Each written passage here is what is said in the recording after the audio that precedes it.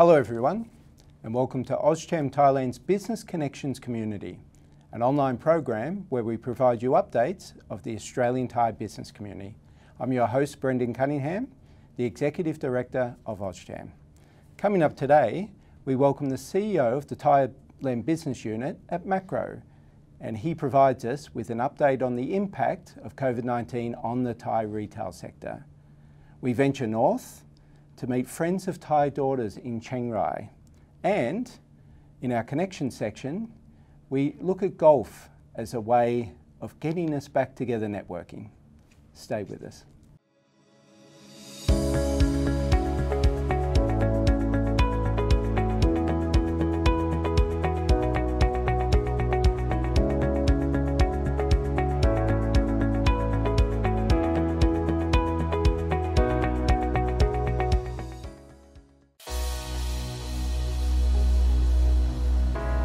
Welcome back. In our business section today, we look at how COVID-19 has impacted the retail sector in Thailand. And we welcome Ricardo Boarotto, CEO of Thailand Business Unit for Makro. Ricardo, how are you? Great, thank you. Thank you very much, Brandon, for the invitation. Yeah, pleasure. It's good to see you again. thank you. So, Ricardo, let's start with a big picture look, a snapshot of how the retail sector has been impacted by COVID 19 was there an increase or decline in business at certain stages? Look, in general, retail showed a quite good resilience. Of course, uh, there are several different kind of stores, there are several kind of retailers, and not all of them behaved in the same, certain, the same way. But in general, we all had a he huge health crisis because we all had stores and we needed to make sure that everybody in our stores were safe. And of course, we saw accelerations of trends. We saw huge speed on changes of customer behaviors and also e-commerce. And we saw a lot of changes also on how the people were buying. Uh, you cannot, cannot forget that we were having more than 30 million tourists in Thailand, mm -hmm. and these people didn't come this year. And retail today is mostly pushed by the internal consumption. And of course, that make changes. And you saw changes on the mix of products that we are buying. For example, we don't sell so many international assortments, for example, as we were selling in the past. But you also see people more focused on health because now people are more and more worried about COVID and everybody knows the impact and all the importance to be healthy. You saw also that people are now working from home and cooking more from home then looking more for ingredients, looking more for fruits and vegetables, for example. But also, there's less money in the market. It's very clear, and people are looking for more value for money. That is very clear. People are more careful what they are buying. Another trend, a very interesting trend that we saw it, is that people are also buying more locally. Mm. Local shops gain an importance that they were probably, in a certain way, I would say, losing but they came very, very strong on, during these pandemics, yeah. which is a very, very interesting because the other trend is also the online part, right. which clearly accelerated very, very, very fast. Would, would that, so the, the local buying, I guess that would relate to people not wanting to travel as far. Usually people would travel to a, a Makro to have a big shop, but they might have just been buying uh, as close as they could get to the, the local side? Yeah, what we saw is people got a little bit more scared, mm -hmm. or people so got stuck at home, if you can say that. And they were just, they didn't want to travel, they don't want to use public transports. And yes. the tendency would go that they would go for their local shops. Mm. Uh, it was an interesting point you made about uh, having 30 million new arrivals come every year with tourism, business travel, etc. 2019, we were expecting 40 million people to come. yes. uh, so that's a huge impact. Uh, so hopefully it comes back. But what are your thoughts on the forecast for the rest of 2021 and beyond? In normal situations, and normally this is a very, very important period for us in retail, at least for us at Makro, because it's the period that we prepare our business plans for next year, also our forecast for the end of the year. And by rule, in a normal situation, I would tell you in a quite precise way how we would finish the year and probably the next six months of the year. At this moment, it's very hard to predict. Uh, we are depending of a lot of factors. Clearly, the biggest factor is COVID. Depends very much how it is going to evolve. Is the country going to open up or not? Are they going to have any kind of other resurgence in other countries? Mm. If we see an opening of the country, and I still feel that that will be the case, and I still am quite positive for 2022. I hope I'm right. we all hope you're right. Uh, what about the overall way you do business? Uh, how has that been impacted? It changed. It changed. It changed in the stores and it changed in the head office. Mm -hmm. uh, I would say in the conversation, if you would have a conversation with a lot of people in retail two or three years ago, and you would say, "How about your team working in a flexible way, working from home?" Everybody would say, "Impossible." Mm -hmm. In retail, that is not possible. And we saw that it's possible, that suddenly we moved everybody working from home. Mm-hmm. And retail is very relation. Mm-hmm. It's you, uh, uh, the life of someone in the head office, especially on the procurement teams, you are back to back meetings with suppliers, with your teams, and so on. And all of this disappeared. Now, important part right in the beginning was making sure that people were feeling well, mm-hmm. because a lot of people were still very scared but also making sure that the people kept focused on day-to-day activities. That was the first challenge. I think today the biggest challenge will be how to bring back the people to yes. back from home to the head office.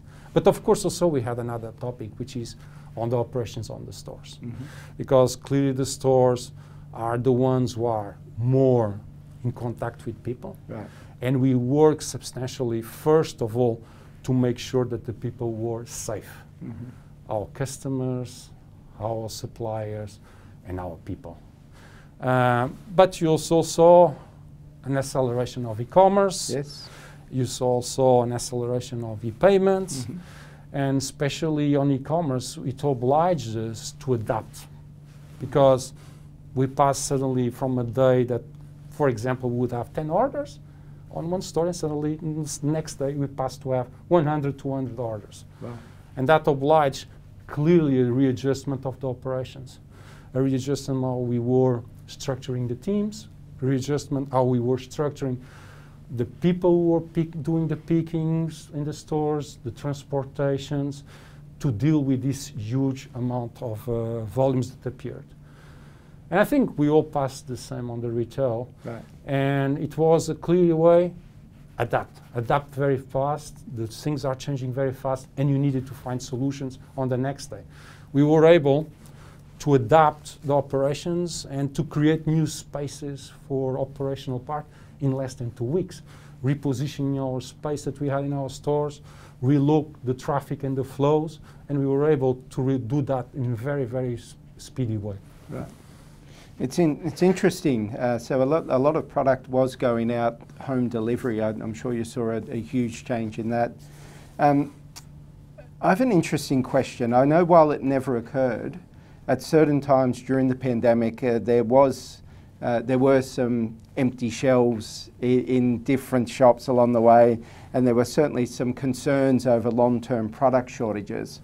Uh, what's your take on that? First of all, I can assure you all, don't panic. There is no need for that. But to explain you a little bit more, I mean, we passed here two critical moments during this crisis. The first one was around March, April last year, mm -hmm. when we had this panic buying. Everybody came to the stores, we had huge queues, the sales spiked, and we needed to make sure that we replenished very, very fast the stores. Unfortunately, we were prepared we bought extra stock, we had extra people, and we passed it in a quite smooth way. The second situation that we all in retail, food retail passed, was around two months ago when, when they had the peak of infection. And we all have been some way, somehow impacted on the supply chain. The retailers, the supply chain, or the, the logistics centers, and also the suppliers. Mm -hmm. The good part of all of this is that we all learned and we all worked very fast, very, very, very well together. And we were able to communicate, keep it, the communication very close and very speedy, and to solve all the problems that were coming. Mm. But there were tough si- decisions that we had to take because Yeah. there were moments that we didn't have enough capacity or the supply didn't have enough capacity and we need to make you had to make choices Right. and the choices were make sure that the fundamentals are there Right. probably you could not find your mustard that special brand that you wanted but i'm sure that you could find all the essentials and that was a very short period Yeah. because we were all uh, very able to adapt and i have to say that the, all the teams our our teams work very very hard but also i have to thanks also to our business partners and our Mhm. suppliers that they work very closely together always helping us to solve problems and it was really really when i saw a really huge collaboration between both parts and seeing that working together always produces because in the end we were all trying to avoid that any, the people would panic that anybody would think there is not enough product Mm. because it's not the reality there was enough product. It was just the way to make it arriving to the stores. And i think we all made it a very successful way. Mm. today i have to say nobody has to worry about it. I think we all learn a lot with it and we are all very prepared if any time in the future another situation would come. And yes, I can certainly confirm that uh, we certainly, my household, never went without any product, essential products um, over the past 18 months. Um, let's finish up with an update on Makro. Uh, what's it been like for the past 18 months for your team? You mentioned there's a lot of work from home. Uh, can you provide a further update? It was it was times of adaptation, clearly, uh, hard work, and uh, being. I'm very grateful for the team that we have. They've been doing a fantastic job, working very hard to make sure that the business goes as smoothly as possible. In topics like we talked before, having products in our stores, but also in safety. Uh, we've been working very, very hard to make sure that everybody is safe. And everybody, as I said before, is our people, but also our customers and also our suppliers. It, that was our main priority, and it will continue because we are not still end. But clearly, we're also looking at the market, looking that there are still a lot of opportunities there. We also know that we hope very soon this crisis will start to go out. And, and we work especially with small suppliers and small SMEs and small customers. And we want to support them and continue to support them in the near future, especially when the business will start to pick up. They will need some support, and we want to be there. But there's also clearly a trend on digital, Mm-hmm. not only the, the online business, but also all what is related with back office. And we are investing and putting a lot of investment on that and be ready for what will be the next normal. When we want that also, we need to invest on people because retail is a business people. Yes. And it's extremely important that we continue to support our teams, develop our teams, and prepare them what is in the future. And but also our stores also Mhm. will be always be a very important part of our business. And we want to continue to work in order to improve, or improve our customer experience, that our customers feel good and happy and satisfied when they go and shop in our stores. But also we are working also, of course, on sustainability. Uh, we want to continue to support the SMEs. It's very, very important that. It's also very important that we keep our business ethics, and we are really strengthening on that, but also respecting the environment and making sure that we are a good citizen. Excellent. And if I could just go back onto the subject of people, you mentioned the importance of people. I believe you have a, a message for not only Makro, but all of the frontline retail people who, who have worked hard through this pandemic. Yeah, I would say that the people that we are in the stores, the cashiers, the people who are serving you every day or replenish the stores, they are the real heroes on retail. They were the ones who kept the business going, even when a lot of us were working in a more safe environment from home. They were coming every day, making sure that nothing was missing in our stores. That when we would go, we would shop, shop our foods, our fruits and vegetables, and in the most safest possible way. I think we have to thank them for their hardship. They still are because this still didn't go, but I think they are the real heroes of retail. I, I agree. Uh, knowing that there's always been someone there if we need to buy anything, I, I think they've really put themselves out there, uh, and I certainly appreciate it as well. Okay. Thank you very much. Thank you. Well, Ricardo, thanks for coming in. It's good to see you again. Thank you. Thank you, Ren, for the invitation once more. It was a pleasure. Pleasure, and uh, we'll look forward to catching up with you again soon. Thank you. Thank you. Great. That's Ricardo Boarotto, CEO of Thailand Business Unit at Makro. Coming up next, our connection section. Stay with us.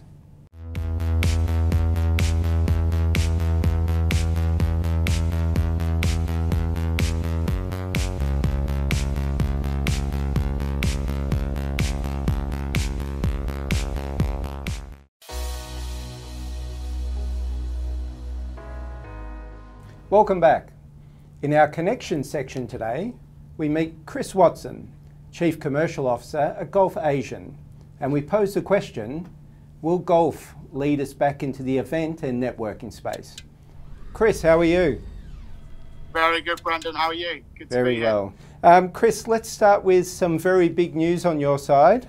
Uh, what's new with Thailand's number one golf management company?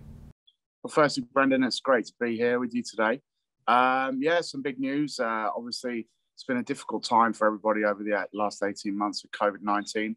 But, you know, in times like this, opportunities do present themselves. And we've managed to uh, merge with the uh, biggest tour operator in Asia, Golfasian, uh, with myself taking up the new position of uh, CCO, Chief Commercial Officer of Golfasian. So, very, very exciting, exciting times and gives us not only the footprint we already had in the domestic market, but now we have a giant footprint of Golfasian all over the world and Asia especially. Excellent. So it sounds like there are some big things ahead, which is great.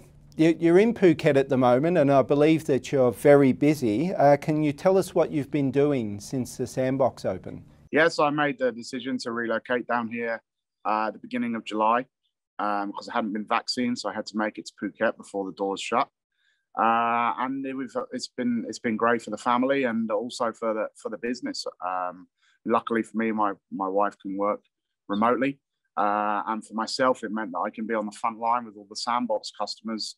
We've had weekly roll-ups with them. We've had a few groups coming in, and it's really really helped us uh, be really the only inbound operator who's who's getting golfing customers in, into Phuket right now.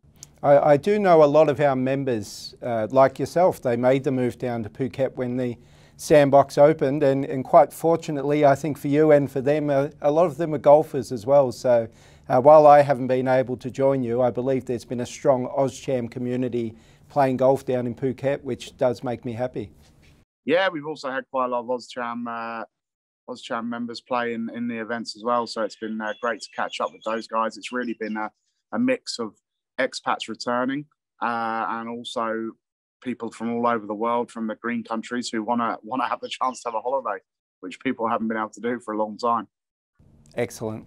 So our other members all over the country uh, and indeed out, outside Thailand have been asking about our events in general quite a lot. When is Sundowners coming back? When are we going to be able to meet again, to network again? AustCham is a very social networking type community. Um, can you ask us, uh, can you tell us, sorry, how you've adapted your events for COVID-19 so we can use as a guide for when we bring events back? Yeah, I've, I think obviously the restrictions in place now, the restrictions change quite a lot as well. So it's very important that you can adapt what you're doing. Um, with regards to events, right now, no gatherings. So we're cutting the prize givings from events. Uh, we're also cutting shotguns. We're doing one tee starts. Uh, the, the safety is the priority for the for the customers, but obviously we want to give them the opportunity to be able to play golf and to be able to play in competitions. And with the Golf Genius app that we have, we can do the touchless scoring where only one person needs to be involved in the scoring. Um, there's no scorecards needed. Um, so really, it's waiting to see the changes that the government put in place and uh, adapting the events to that and trying to carry on as as normal life as possible as as we can with uh, with the golf events, including obviously being being aware of those restrictions and the safety of all the players. Excellent. I can assure you I would still be able to miss out with the improvement in numbers, but I'm sure I would have had a good day. Great. So continuing on the topic of restrictions, um, we, it appears things are getting better countrywide. Just from a pure golf management organisation of events point of view, how do you see the next few months progressing? Ah, I mean, it's difficult to say. Um, I mean, definitely they're making steps in the right direction. Uh, unfortunately, lockdown was probably what what was needed, but now obviously in Bangkok, restaurants are opening up, golf courses are open again with limited gathering. Um, in Phuket, there's still an alcohol ban in place, but there's still plenty plenty of people coming into the into the country. The the restrictions on events are higher here. It's 100 people here in Phuket. So I mean, I would I would hope by the time that the AustCham tournament comes around on the uh, the 12th of November, I believe that uh, there'll be uh, that we'll be able to have 150 people in a in a group gathering. Uh, I would hope. Excellent. Well, we look forward to that, and I'm, I'm sure a few other games with our members uh, over the next couple of months and moving into 2022 as well. Good to see you, Chris. Yes, 100%. We can't wait, and uh, I'm looking forward to getting back to Bangkok and uh, getting back to the events. Chris Watson, Chief Commercial Officer for Golfasian. Coming up next, our community section. Stay with us.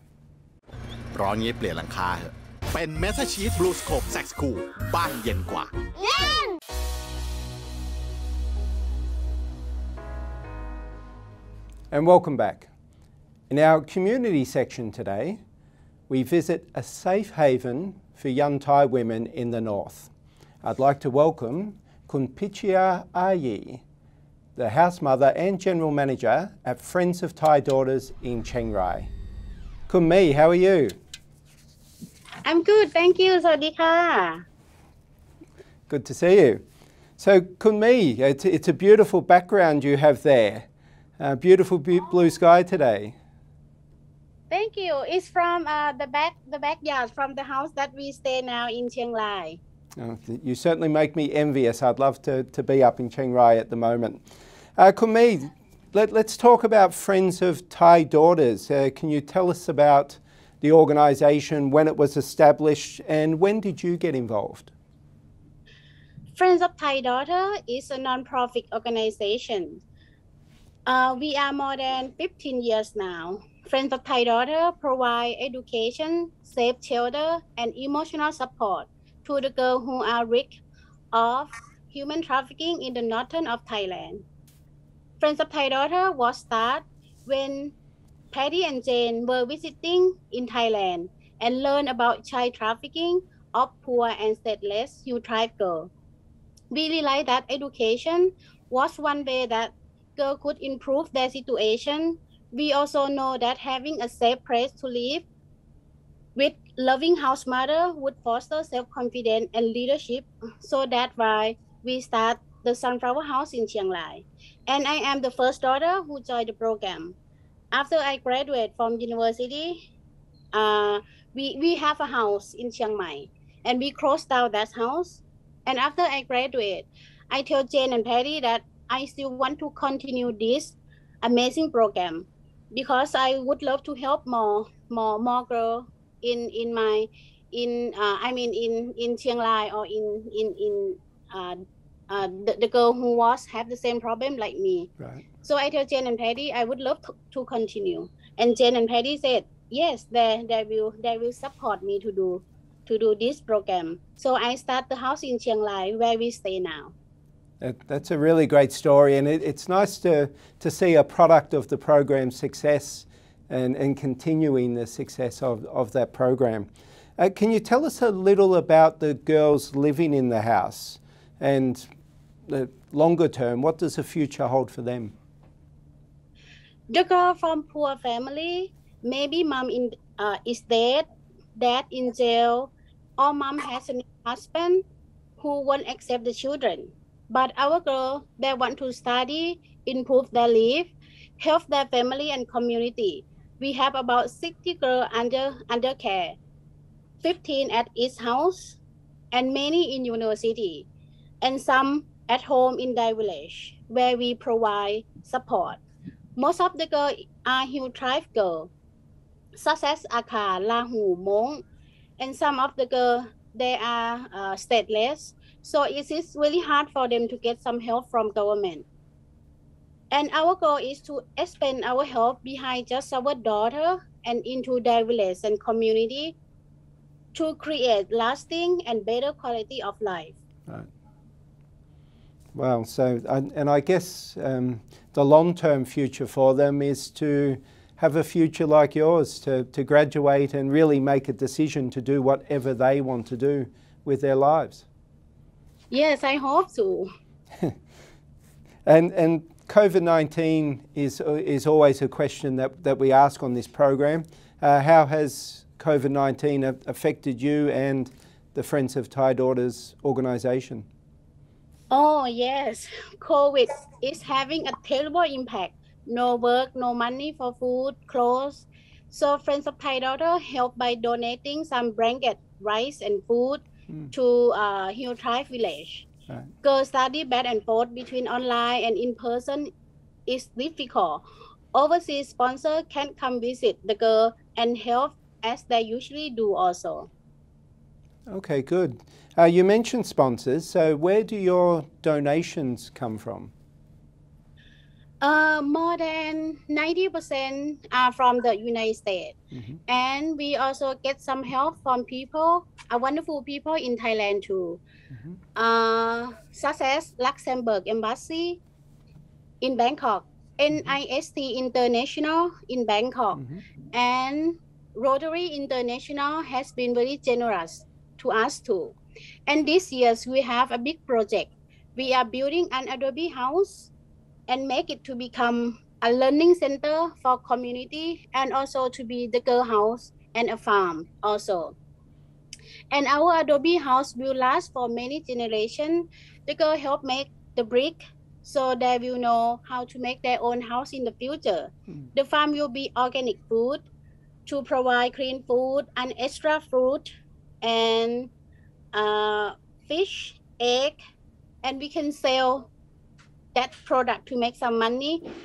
People from AustCham can come visit us, learn about our program, uh, come to eat at our restaurant, and also can stay overnight at our guest house also. And uh, this will give our daughter opportunity to learn about business, hospitality, uh, agriculture, and also tourists. And BlueScope Company is very generous to donate high quality mentor for our roof, ensuring they will be long lasting. Thank you, Kun Steve from BlueScope Company for this generous help. We still need the kitchen equipment like stove, refrigerator, oven, and other things like computer, bed, chair, and table for a new house. We also will be looking for internship for our university daughter after the COVID also. Uh, there's a lot of ways that AustCham members can can certainly help there in the future as well, and I'm sure our CSR committee uh, will be looking at uh, extending our support uh, for Friends of Thai Daughters in various ways, uh, as our members can see. Uh, cash donations, I'm sure, are, are, welcome, but there are many other ways that you can contribute. And I'm glad you mentioned NS BlueScope, who, of course, made a significant contribution with their product uh, in building the Adobe, Adobe House. So uh, certainly if you're, you're interest, interested in supporting Friends of Daughters, uh, you, I can put you in contact with Kun Mi or you can contact me directly as well. Uh, yes. Kunmi, do you have a final message for our AustCham me members? Yes, I would love to say thank you, AustCham, again for inviting friends of Thai daughter to be uh, your guest today. I am very honored to be your guest, and thank you the thank you all the donor to help support friends of Thai daughter for a long time. And can enough to say thank you, Kun Steve from BlueScope Company again to help uh, support for us. Thank you so much. ขอบคุณนะคะ Great. Thanks, Kun Mi. And thank you to BlueScope again and our CSR committee for connecting us with Friends of Thai Daughters. A very worthwhile project up there. And we do look forward to getting up to that beautiful sunflower field and blue sky. Hope to see you soon, Kun Mi.